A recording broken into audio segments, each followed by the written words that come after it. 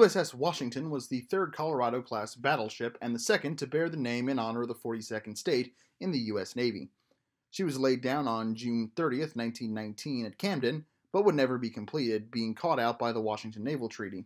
Work would cease and she would meet her end by the conclusion of 1924. I've already talked about the statistics of the ship and the history of the design in a previous video, so let's get right down to the point. On October 18, 1916, bids for the four Colorado class battleships opened, thanks to the appropriations of fiscal year 1917.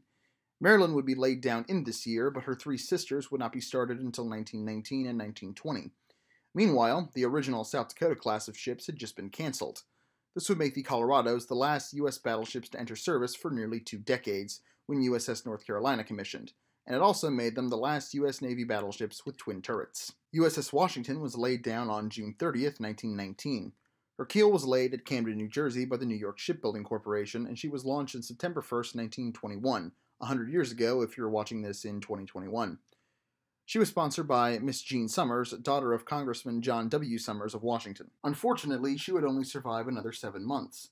On February 8, 1922, two days after the Washington Naval Treaty was signed, which limited size and number of battleships, construction work stopped.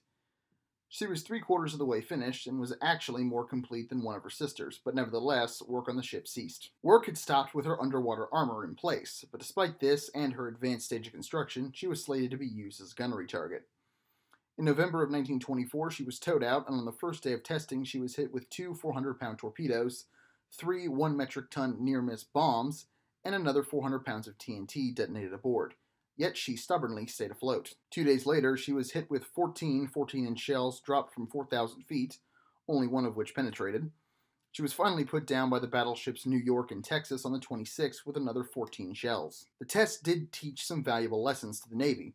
The deck armor of the ships was deemed inadequate, and it was recommended that all future battleships be fitted with a double bottom.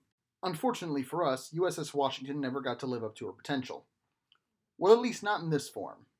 But that's a story for another day. Well, that's three of the four Colorado class done, only one left.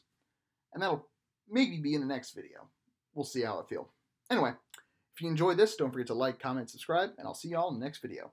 Bye!